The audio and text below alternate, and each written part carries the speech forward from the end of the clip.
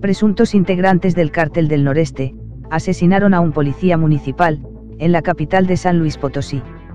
Los hechos ocurrieron durante la tarde de este 12 de abril, sobre la calle Camino Viejo a Guanajuato, en la colonia Nueva Progreso, frente a una torre de departamentos.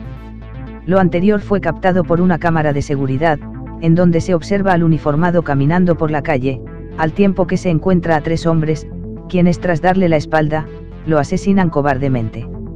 Según medios locales, en el lugar de los hechos, fue localizado un narcomensaje, presuntamente firmado por el cártel del noreste. Finalmente, el oficial abatido, fue identificado como José de Jesús Tapia Arteaga. ¿Es el poli? Sí. Madre, No mami, qué poca madre.